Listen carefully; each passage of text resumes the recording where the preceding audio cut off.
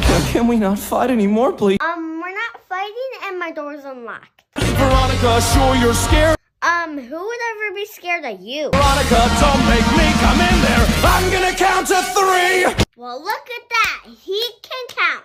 One,